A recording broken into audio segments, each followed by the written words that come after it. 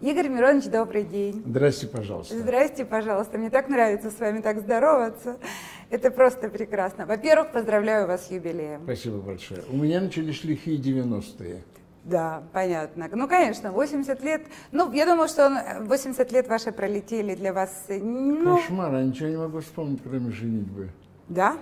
Это самое яркое воспоминание? Самое я- яркое такое, да. Ну, я думаю, что все-таки была еще и прекрасная ваша теща, ваши яркие воспоминания. Теща была замечательная, правда. И тюрьму я полюбил. Полюбили, Все да. было вместе хорошо. Ну и вообще советское время у вас было Ой, такое. что вы, о чем вы говорите. Было очень насыщенное и интересное, да. Как празднуете?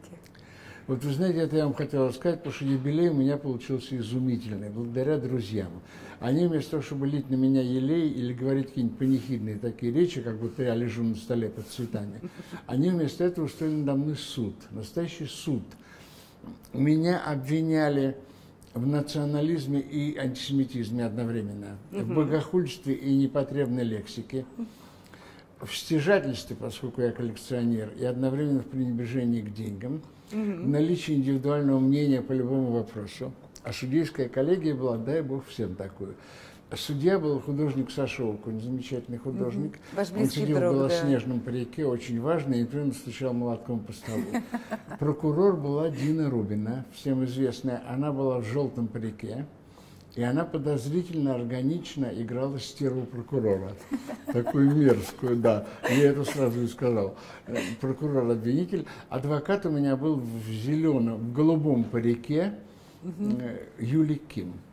Адвокат был совершенно изумительный, да, он то говорил на латыни, то говорил у меня все. В общем, он был такой советский адвокат, сервильный и навсегда испуганный. Ну вот, а мы сидели с женой, меня обвиняли, соответственно, Тата была тоже подсудимая. И это было очень интересно, потому что выступали разные люди. Вот Витька Шендерович замечательно выступил. Потом выступали... А, еще одновременно меня обвиняли в попытке украсть паровоз, чтобы на паровозе доехать до Израиля. Поскольку у меня есть право управления локомотивом, их показали на... И вот.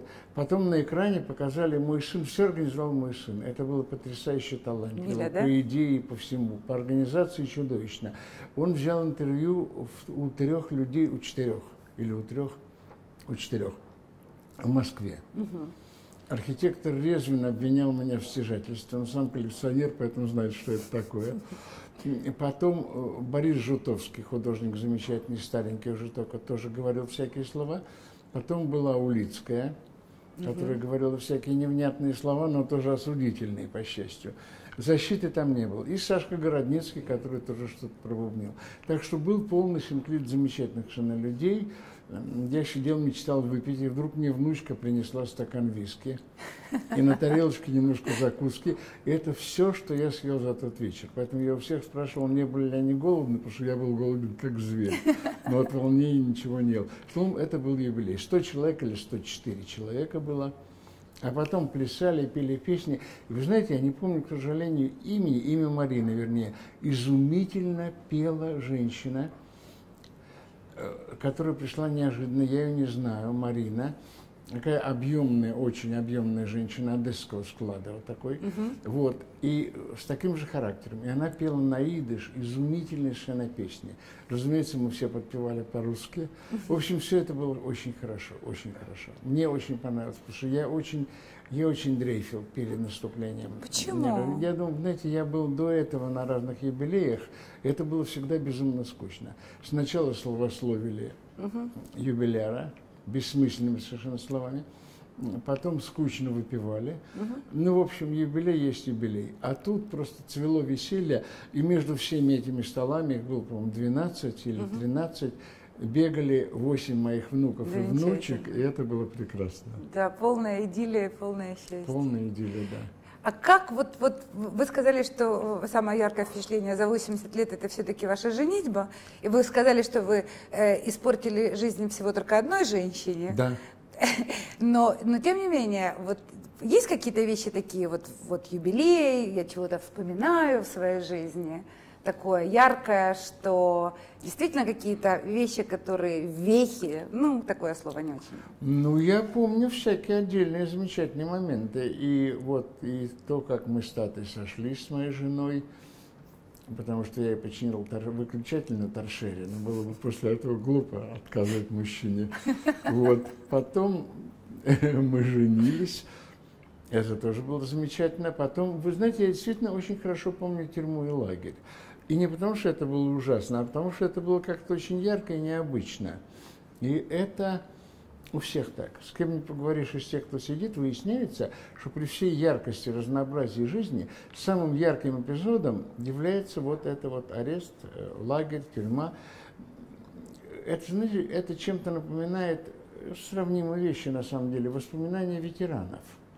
Вот ветераны, они ведь, знаете, особенно в деревнях, вот мне одна женщина жаловалась в Владимирской области, я был, что ее муж э, с приятелем, угу. они вот выпьют, когда сойдутся, они выпьют, и тут же вспоминают какой-то бой под Курской дугой, как они брали какую-то деревеньку. Угу. Это оказалось самым ярким воспоминанием их жизни.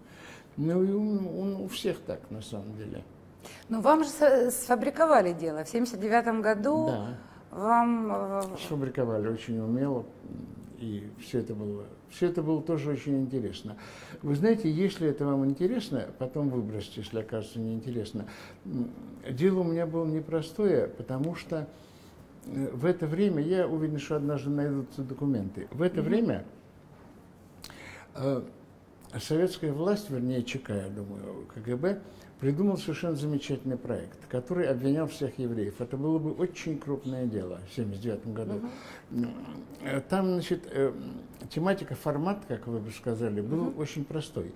Евреи скупают здесь всякие ценности, антиквариаты, иконы. Все это по их каналам уходит за границу, продается за бешеные деньги – эти деньги приходят сюда. И вот здесь все очень важно. Эти деньги идут не только на поддержку еврейского движения, угу. на журнал, поддержку угу, отказников, угу. но и на поддержку такого общества защиты прав верующих. Глеб Якунин там был такой. Угу. Семьи, семьи всяких диссидентов, антисоветские журналы, хроника текущих событий. Было же очень много всяких изданий. И во всем виноваты евреи. То есть процесс был совершенно замечательный. И одна женщина прекрасная, я ее до сих пор люблю, не могу назвать имя, потому что нет у меня никаких документов, но все знают, uh-huh. что это так и есть. Она сказала, что самый удачный человек для этой цели – это я. Потому что одновременно я участвую в журнале «Евреев СССР», да, да, да. одновременно я дружу с кучей диссидентов, и с Глебом Якуниным, и с Альбрехтом, который написал «Как держать себя на допросах». И, кроме всего прочего, я коллекционер, то есть я человек очень уязвимый. И, и вообще болтун, трепач, это так и есть, тем более. Вот. И что поэтому я сломаюсь, меня очень удобно. Для, и меня для этой цели привлекли. Вот. И вам вменили, что вы, какие-то у вас есть краденые Нет, мне, иконы? Мне вменили, что у меня есть пять краденных икон. Да, да, да. Эти мужики, которые на меня настучали, они их не смогли обнаружить. Они называли разные совершенно. Поэтому мой адвокат просто смеялся. И смеялся зря, потому что это никак не помешало. Поэтому, а так этих икон не обнаружили все-таки, то, вы знаете, я столкнулся с изумительной совершенно чертой советского правосудия мне предъявили обвинение не только в скупке краденных икон, угу. но и в сбыте, поскольку их не нашли, это значит, я их сбыл. Уже успел, да, да, да. да, да. А во-вторых, была еще сексуальная деталь, которая мне очень нравилась, потому что у меня изъяли чудовищное количество э, э, компрометирующих материалов. Сам издат, там издат, угу. стишки в записных книжках и блокнотах. И поэтому мне следователь сказал, что вот вы сейчас пять лет отсидите, и мы вам тут же пришлем еще семь по вот этой вот статье уже не 190-й, а 70-й, антисоветская деятельность подрывная и все прочее. Ну, и вот тут последовала совершенно замечательная фраза. Он сказал, мы ваше дело завели, но еще не возбуждаем. Вот, что это произойдет через пять лет. Так что все было очень хорошо, это тоже очень яркое воспоминание. Но все-таки через пять лет это не произошло, слава Богу. Ничего не произошло, абсолютно, да. Я думаю, что в этом виной человек, который приезжал сейчас на юбилей, такой Юлий Китаевич, он живет в Америке, это чудовищного таланта инженер. Думаю, что он не достиг чудовищного богатства в Америке, которого должен был бы достигнуть. Он инженер-электрик. Когда-то он строил всю электро электротехнику в Останкинской телебашне. Угу. Вот очень талантливый человек. И он изобрел искусственную почку. которые пользуются до сих пор. Это один из вариантов, их несколько вариантов. Он изобрел искусственную почку.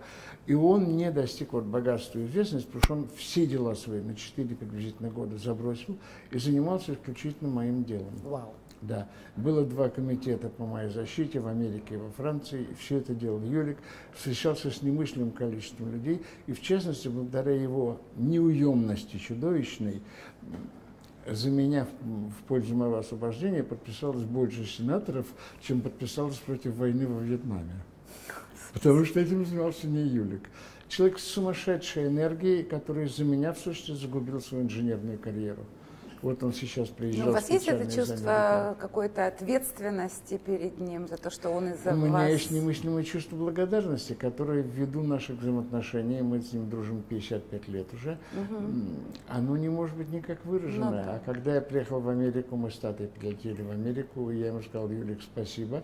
А он единственное, что сказал, я тебе не очень навредил. Вау. Да. Но вас же еще э, принуждали сдать Брайловского, насколько вот я Вот с этого все началось. Меня, принуди... меня уговаривали да, сначала, да, да. Да, да, э, сдать Витьку, но... То есть, если бы я сдал Витьку, то дальше это все закрутилось бы по нарастающей.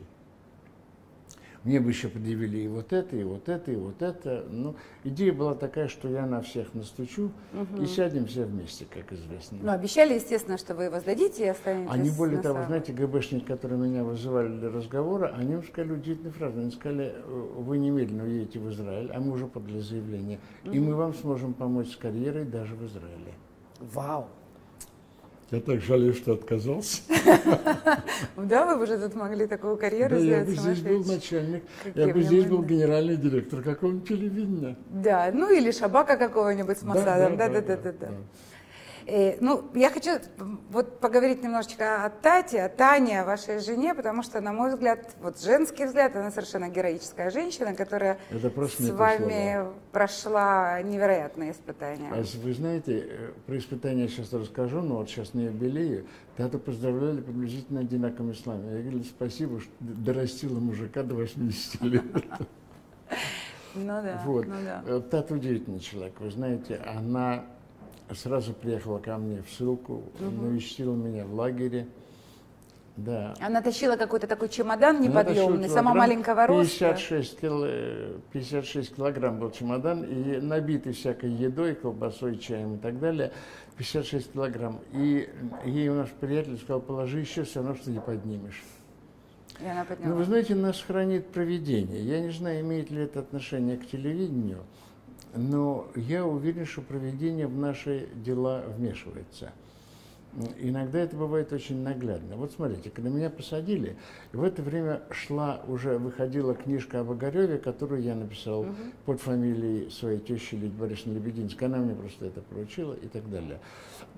И э, когда уже меня посадили, Тате позвонила редакторша, угу бывшая жена Трифонова, и сказала, Танечка, немедленно приезжайте, потому что такие чудовищные цитаты антисоветские, которые были, оказывается, в XIX веке, надо их обязательно сверить, иначе их не пропустят.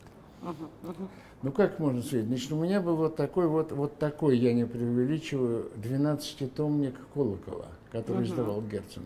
Где там искать? В каждом странице по 500-600 в каждом томе. Где искать эти цитаты? Вы а вы уже сидите? А я уже сижу. Я бы сам долго искал, я не делал закладок, я разглядел ужасный. Тата приехала, а ей редактор все время жужжала в уши о своей несчастной личной жизни и мешала. И Тата искать.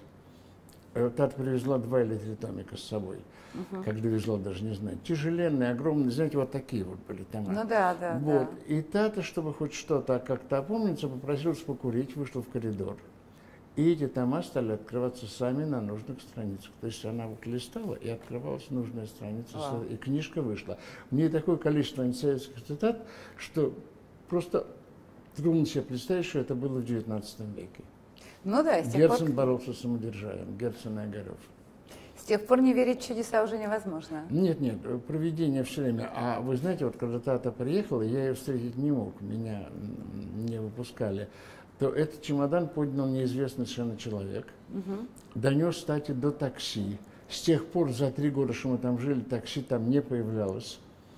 Никогда. Я его никогда не до такси, таксист привез э, тату и все такое. Нет, нет, здесь явно что-то участвовало в нашу пользу. И при этом вы все время говорите о том, что вроде как вы не знаете, Бог есть или нет, есть ли провидение, верить, не верить.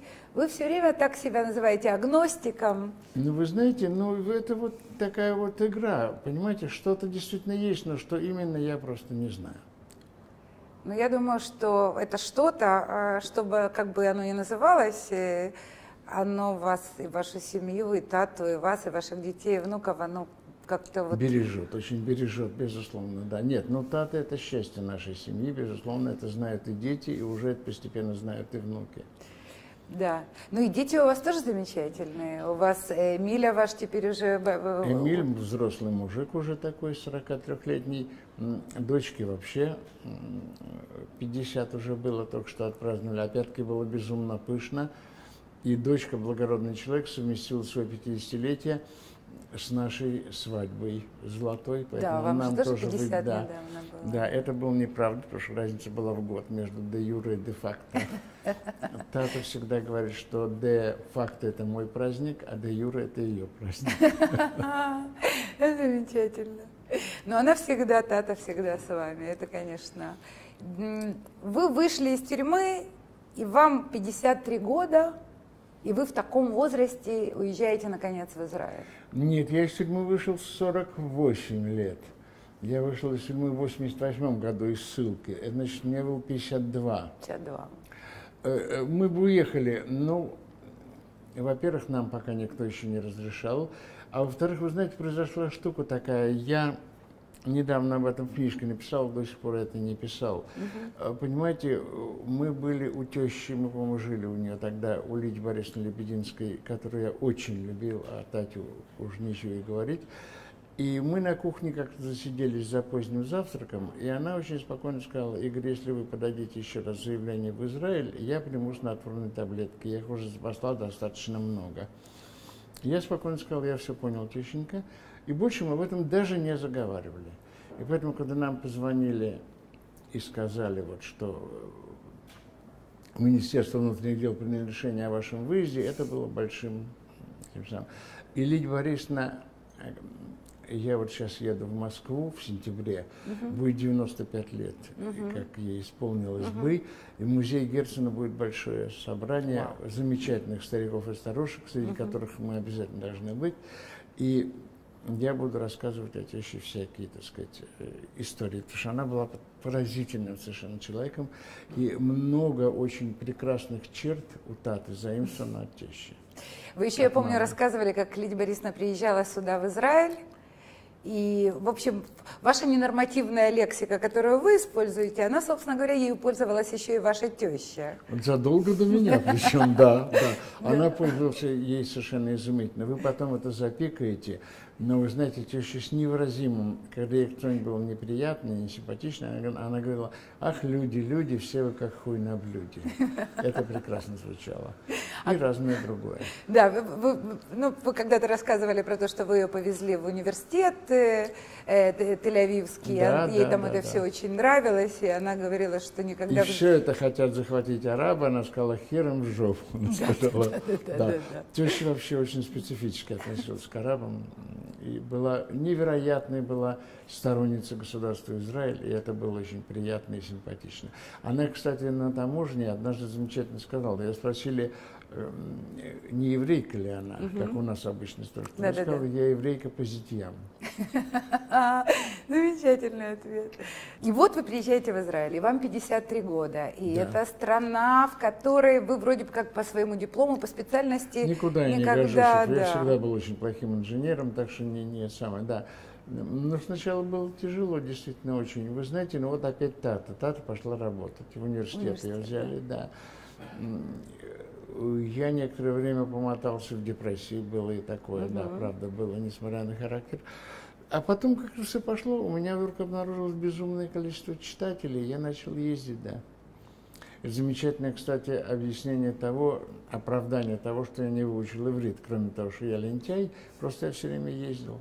Да, и русский язык объединяет очень много, как Ну, оказалось. вы знаете, наехал немыслимое количество, да. Я Дине написал стишок Рубиной, который я, конечно, не помню, но суть его правильная, что поскольку мы не стояли к Богу в очереди за какой-нибудь судой, то он не просто нас выселил из России, но еще и выселил наших читателей. Следом за вами. Да, и да, поэтому да, они абсолютно есть. На Кипре, в Австралии э, дикое количество. В Америке, в Канаде, Ну, это в уж Европе. большие страны, в Европе это все само собой. Да. Но самое главное, что вот в таких вот странах, в Швеции, А в Китае вы еще не были? Там, оказывается, тоже есть язык. знаете, я не знаю. Во всяком случае, в Харбине, где я был, там россиян нету. Там сиротливо стоит бывший собор, огромный, замечательный, который построили иммигранты 20-х годов. Но там э, это музей, выставка фотографий, как строился Харбин. Больше я там русских людей не встречал. Мне очень нравится, как вы вспоминаете свою жизнь. Вы все время говорите, э, несколько книжек назад или пару книжек назад вы как бы меряете свою жизнь книжками. Ну, каждые два года книжка, и поэтому легко, очень, очень легкий аршин. Вы э, в последний раз, когда мы с вами говорили два года назад, вы сказали, что вы уже выпускаете вот-вот новую книжку. Расскажите Я о ней, да. книжку Да. «Девятый дневник», и в сущности сейчас все концерты – это презентация этой книги, в которой есть вот разные стишки, ну, не очень умные, но всегда грустные. А насчет ума, давайте я вам скажу гениальный анекдот, который наверняка не знают ваши слушатели, потому что даже мои друзья не знали. Да. А друзья уже очень грамотные в смысле анекдотов. Один еврей приходит к Равину, говорит, Рэби, а что это такое утечка мозгов? А Равин говорит, в вашем случае это насморк. Очень хорошо. замечательно, Да, да. очень хорошо. Да, вот так и, да. Расскажите, сколько уже Гариков? Гариков 1011 с чем-нибудь. Я, я- мне казалось, что 12 уже, да, около, 12. Да, около- может быть, уже 12. И, по- и сейчас очень считается признаком такого хорошего тона, хорошего воспитания, начитанности и эрудиции, это цитирование Обязательно, Гариков. да. Я не помню опять-таки стишка, но меня читают министры и бляди. От министров и до, так сказать, хотя я их не считаю ниже никак по уровню. Э, ну, наверное, немножечко я вас попрошу почитать из того, что вы мне пообещали, что вы, Вы все знаете, помните вот то, наизусть. что я помню, я вам сейчас, конечно, почитаю. Уже мне 80 лет, а все грешу стихосложением. И хоть нисколько не поэт, но я мудак с воображением. Мне это нравится, стареть, не предаваясь угрызениям, и утром в зеркало смотреть с симпатией и омерзением. Совесть личная моя белее снега, перетянуты ремнем тугие чресла. Только жаль мое, жаль мое пленительное эго не дождется, чтобы либидо воскресла. Есть еще, но они у меня, как всегда, здесь спрятаны в бумажке. Я сейчас ее достану и что-нибудь еще прочту, ладно? Это то, что я читал у себя на юбилей, просто подготовленный. Очень плохая память стала, вы знаете. Я с тех людей беру пример, они заметные немногие, которые поклали хер на все, что есть идеологии. Ослабли звуки у струны, толкучка мысли поредела, спадают ветхие штаны с насквозь прокуренного тела. Я же говорю, грустные очень все стишки. Хоть я уже отбыл мой жребий, хотя слаб умом и статью, мне до сих пор журавль в небе милее, чем утка под кроватью. И так далее. Замечательно. Мне нравится, э, я читала, что сейчас, или слышала какое-то ваше интервью, что сейчас уже в России, поскольку надо запикивать какие-то вещи или там писать какие-то иероглифы вместо Да, э, да, э, слова написанного, на ваших книжках теперь написано 18 плюс. Не просто. Вы знаете, книжки мои теперь продаются в целлофановой такой обертке, что, конечно, удорожает их стоимость, очевидно. И написано плюс 18. Да-да-да. И еще дико неграмотная с точки зрения русского языка фраза «содержит нецензурную брань». Брань. Да, так они и продаются, но продаются и издаются, и слава тебе, Господи, тьфу тьфу тьфу Но я думаю, что именно этим они и привлекают на самом деле людей все больше и больше. думаю, что потому что запретный реклама. же плод, да. Я думаю, что это неким образом, конечно, реклама, да. Я могу рассказать еще одну хвастливую историю про мои стишки. Вы знаете, я только что получил записку на последних гастролях в Ленинграде. Э, Там написано, письмо, вернее, большое, что я, уважаемый Кременович, я представительница древнейшей профессии. Да, я девушка из эскорта. Вот, то, что, ну вот то, что девушка по сопровождению. И мы часто с подругами собираемся, пьем вино, обсуждаем наших клиентов и читаем ваши стихи. И однажды меня мой один клиент очень обидел, и я ему написал ваш стишок. От него я получил некоторую сумму денег и записку с благодарностью, что он впервые от проститутки получает такое правильное жизненное направление. Ай, какая прелесть. Я очень был Это доволен. уже просто да, да. Это предмет гордости, конечно. Я хотела вот о чем с вами поговорить. Вы написали некий э, календарь. Да, да. Календарь, в котором у вас в каждом месяце, еще и на каждый день, есть стишок. Да, но я их не помню наизусть. Это мы с Сокунем вместе написали. Да, это называется, да, это календарь. Но вы знаете, в этом календаре на один день больше, чем есть. Потому что, как раз вот к вопросу о Тате, там есть день 30 февраля, день безоблачного супружества. Ага, Замечательно. И там кто-то, по-моему, обиделся даже из ваших друзей. Там, а, не, там тетка одного знакомого нашего обиделась на то, что день дурака приходится на ее день рождения, чем чем и подтвердила правильность этого праздника. А еще есть предпоследние гарики. Ну, это совсем старая книжка. Почему? Почему вы их так называете? Предпоследние, они же предполагают, что вот, друзья, приготовьтесь, потом уже будут последние. Вы как бы играетесь э, вот с этим человеком, или там, кто там он, Существом. существом, да. Но вы знаете, я столько стихов написал о Боге, с ним э, споря и его осуждая за все, что он делает на земле, и одновременно благодаря его за жизнь, за жизнь, которая протекает, что, в общем, разбирательство будет уже на небе. На небе. А последний, предпоследний, я не играю с ним. Что в голову приходит, я так и называю. Господи. Но Ну, вы его задираете. Что его? Задираете его. А я думаю, что ему это очень приятно. Я вообще думаю, что Бог любит богохульство, Бог любит богоискательство, Бог любит тех, кто с ним спорит э, и все такое. А тех, кто непрерывно возносит молитвы и поет ему, он же не дурак, это существо не дурак. А как можно быть не дураком и воспринимать такие тонны лести, которые несутся с земли? Ну, бессмысленно это. Так что я думаю, что у него очень сложная на самом деле ситуация и позиция. Во-первых, его посредники на земле во всех религиях, в иудаизме я это отчетливо очень вижу, его посредники это люди чудовищные, которые могут привести только к атеизму, на мой взгляд, конечно. Поэтому ему очень тяжело решать разные проблемы. Вот он насылает всякие кошмары. Ну, вы первую молитву такую, ну, назовем это молитву, еще написали в тюрьме. Да, я написал большую молитву, я с нее сейчас и начинаю концерты, да. А можете прочитать? Могу. Благодарю тебя, Создатель, что сшит не юбочно, а брючно, что многих дам я был приятель, но уходил благополучно. Благодарю тебя, Творец, за то, что думать стал я рано, за то, что к рюмке огурец ты посылал мне постоянно. Благодарю тебя, Всевышний, за все, к чему я привязался, за то, что я ни разу лишний в кругу друзей не оказался. И за тюрьму благодарю. Она во благо мне явилась. Она разбила жизнь мою на разных две, что тоже милость. И одному тебе спасибо, что держишь меру тьмы и света, что в мире дьявольски красиво, и мне доступно видеть это. У вас сейчас лицо э, матери или тещи, принявшей передачу в тюрьму. Такое. Ну, это правда здорово. Спасибо. И вы живете в Иерусалиме, и в Иерусалиме все говорят, что это такое место, которое там самое короткое расстояние от Всевышнего. За телефон мы платим чудовищно много.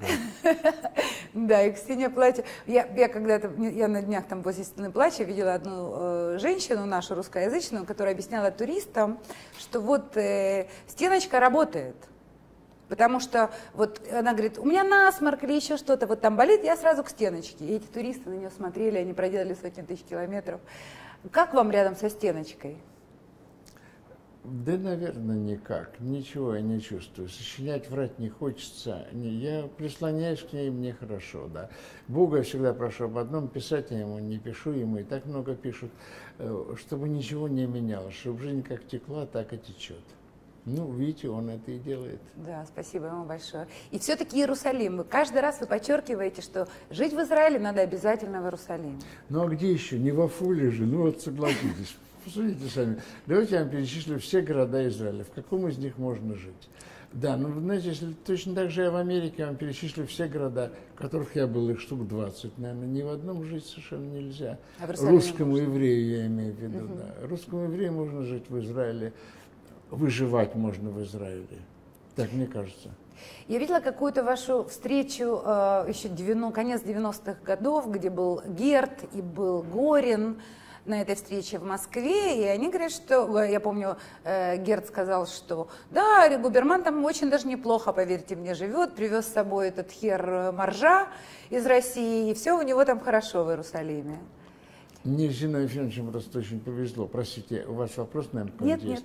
Вы знаете, я у него был водителем. Они у нас останавливались, когда приезжали в Иерусалим, и я его возил по Иерусалиму. И это полное счастье, потому что я еще слушал всякие разговоры. А потом он был в гостях у любимого, например. Я, как всякие водители, был тоже приглашен к столу. И я слышал, что говорят старики, и я каждые 10 минут бегал в сортир, спо- якобы в сортир, потому что я записывал, Записывал. там. За столом при старых советских людях писать ничего нельзя, потому что подумают, что стукач Ну и да, так да, далее. да. Записывают наблюдения. А потом, знаете, с Гертом было ходить изумительно хорошо. Вот я его, например, помню до сих пор, я его повел на могилу царя Давида, и около этой, это квази-могила, и все это знают, какой-то шейх похоронен, 12 век. Э, Около этой могилы стоят хасиды и молятся. А я в сторонке тихо Герту все рассказал, и вдруг от этой толпы молящихся отделяется хасид, подходит ко мне и говорит, простите, это Герт? Я говорю, да. Он говорит, Зиновий Ефимович, не дадите ли вы мне автограф? Герт ни секунды не задержавшись, говорит, а Додик не обидится? Это был человек поразительной реакции Ну да, совершенно. ну да. И еще ваш очень близкий друг э, Горин, Гри- Григорий Горин был, Я его который- слишком уважал, чтобы называть другом, Даже но мы так? были хорошо очень знакомы. Да, я просто... Он великий, он великий э, российский автор, великий. Вы знаете, я думаю, что э, со временем все это оп- определится, ну, как бы иерархия, вот эта литературная, это же все происходит со временем, потому что, смотрите-ка, Бабарыкин был более известен, чем Пушкин и Ну так да. далее, да. А потом Достое- больше, чем Достоевский. Все это определится со временем. Так вот, я думаю, что два еврея, Шварц и Горин, будут занесены в список великих русских писателей. Но мне кажется, что Горин вообще, вот если мы с вами говорим о том, что там что-то есть, вот говорят, что есть люди подключенные, вот ему как будто бы оттуда то, то, что он писал, и то, как далеко он видел вперед, это И то, потрясающе. как он все это чувствовал, нет, это совершенно невероятно. И чего интересное, у него есть очень э, душевная, духовная, скажем так, не люблю просто слово духовность, чудовищная близость к Шварцу. Не случайно Да. он Шварца и перелагал, вот Да. он чувствовал это. Да. И Да. это были потрясающие люди. Но у вас тоже есть э, много всего, но самое мне запомнившееся, то, что пару лет назад вы написали про то, что Европа встанет на намаз и обнажит зады. Вы Совершенно написали точно. об этом два года назад, и вот оно произошло. Да, конечно, Как конечно. вы, как, как вы это чувствовали, как вы это поняли, как вы это увидели? Вот, Наитие. вот. Творец готовит нам показ большой смешной беды. Европа встанет на намаз и обнажит зады. Но я вам хочу сказать, что один раз, вот у меня было очень странное совпавшее предсказание. Знаете, я в 86 году, когда началась перестройка, я год-полтора-два писал стишки, не веря, что в России будет такое счастье, как свобода. Ну и вот видите все. И в 86 году я написал стих, послушайте, как он оправдался. Порядка мы жаждем, как формы для теста, и скоро мясной мускулистый мессия для миссии этой заступит на место, и снова, как встарь, присмиреет Россия. Это правда предсказание вообще. Игорь. Удивительно, и, я- и жена считает меня идиотом, представляете? Нет, она считает вас предсказателем, и она любит ваши стихи. Я хочу э, э, вот еще одну вещь. У вас тут вы сцепились э, какое-то время назад с Быковым по поводу соли, еврейства. Я не сцепился, он просто сказал херню ужасную, да, насчет Израиля. Да. Да, но вы знаете, это все очень преувеличено на самом деле. Быков писал замечательные проеврейские стихи, замечательные статьи о том, как много полуевреев внесли в мировую культуру и науку. А здесь я сам видел, слышал, как он выступал. Он просто сказал, что, по его мнению, Израиль это неудачный исторический проект, еще и потому, что нас легко разбомбить. Вообще евреев не останется. Ну, насчет разбомбить он просто не представлялся мощности нашего ВВС. А потом сказал, что евреи вообще должны быть распределены всюду, как соль, а не собираться в одной соломке. Вот и все. И то же самое у нас было в интервью. Он мне сказал, я ему сказал, что это все с присущей мне несдержанностью. Теперь в интернете все до этого говорится, что вот я его окоротил. Это не так. У него замечательно, замечательно необъективные взгляды на Израиль и на еврейство как такового, но это, как бы это сказать, это недомогание очень многих полукровок. Угу. Вот. И с этим, по-моему, не нужно ни бороться, ни как-то его за это осуждать. Он так думает, и честь ему и хвала, что он это слово говорит, не боясь.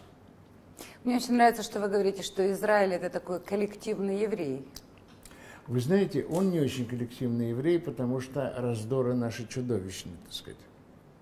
У меня был такой стишок, уж простите, раз разговорились. Сомнений нет, что мой народ – большое Божье наказание. Не будь между нас такой разброд, весь мир бы делал обрезание. Мы действительно в диком совершенно это самое разброде. А для всей планеты Израиль коллективный еврей сегодня, потому что антисемитизм это как-то не политкорректно, идиотическое вообще слово политкорректность и само это самое а Израиль коллективный еврей, и поэтому на него списывается абсолютно все. И совершенно естественно его должны ненавидеть, потому что нельзя хорошо относиться к людям, к стране, которые предавали.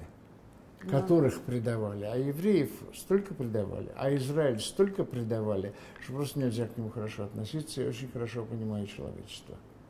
Вам часто э, журналисты разные, вот российские либо украинские, э, э, пристают с вопросами ваше мнение по этому поводу. Поэтому у меня такое ощущение, что они вас так достали по поводу Крым наш, Крым не наш, а что творится в Украине. Я на политические вопросы не отвечаю, потому что я на Украине и в России я говорю, что я иностранец, и мне присуща, должна быть присуща сдержанность. Uh-huh или иногда я спрашиваю, вам на ваш вопрос отвечать вежливо или правду. И после этого переходит к другим темам. После этого перехожу на неправду. Мне очень нравится, что вы говорите, я притворяюсь интеллигентным человеком. Ну, конечно, а что же делать-то? Компания такая, ничего не поделаешь. А что бы вы себе, ну извините, сейчас, наверное, действительно ради такие Бога, вопросы. Ради Бога. Эм, вы самому себе желаете что? Я желаю самому себе еще немножко пожить, каждый вечер выпивать, выслушивать упреки жены любимой и наблюдать, как растут внуки. Вот, собственно, и все. Я ничего себе особенного не желаю. Человечеству я желаю выжить, потому что мне кажется, что очень близка чудовищная война. Я ничего не могу с собой поделать, я об этом много стишков написал в девятом дневнике, отчасти поэтому он очень грустный. Ну вот есть у меня такое ощущение, что она просто неименуема, потому что Э, очень обрюзгла цивилизация, и что-то с ней должно произойти. Я процитирую э, Витю Шендеровича, который закончил свою речь. Так, он сказал следующее. Он давно достал всех своей индивидуальностью, которую не берут ни сибирские морозы, ни палестинская автономия, он не заслуживает снисхождения. Обвинение просит высокий суд за честь 80 лет прожитых уроженцем Харькова губерманом Игорем Мироновичем в счет тех 120, которые он должен в наказание провести среди всех нас. Ну, Витька замечательно все это формулирует. И нам нужно сказать еще нашим зрителям о предстоящих ваших э, юбилейных Давайте скажем концертах. обязательно. Сегодня в Нетании. 10 э, число июля 10 в Нетании. В Нетании. 12 Петахтиква. Да, 14 Хайфа, я даже почти все помню. Правильно. 14 Хайфа, 17 Аждот. 18-го... Решен Лицеон. Мы даже не видишь промежутки, да, каждый день. Решен Лицеон и 19-го на Церет Элит. И все концерты начинаются в 20.00. И один и тот же выступатель. Да, юбиляр Игорь Губерман. Телефон для справок 054 6444 777. Игорь Миронович, мы вас очень любим. Давайте еще праздновать э, ваш 81, 82 до 120, вот если говорю, можно. Моя жена любимая Тата вот так и говорит, поживи еще немножко. Конечно, и вы, я вам желаю пожить вместе с ней счастливо и быть здоровыми. Спасибо я вам большое. хочу подарить вот это произведение. О, я А я и думал, откуда это взялось. О, спасибо большое. Вот, это я будет думаю, так в замечательно вести доме- в Иерусалим. В нашем доме это будет очень хорошо. Спасибо Вот. большое. Ну и еще тут один знаменитый еврей. Вот я как раз хотела спросить, что это у вас такое красивое? Это а, для вас. Это Эйнштейн. Правильно. Потрясающе. Чтобы Спасибо вам было большое. чем записывать. Спасибо большое. Я сейчас пока это поставлю Спасибо еще вам. раз вниз и произнесу. Игорь Миронович, спасибо вам большое. Будьте здоровы. Спасибо вам, будьте счастливы. рождения. Спасибо. Спасибо.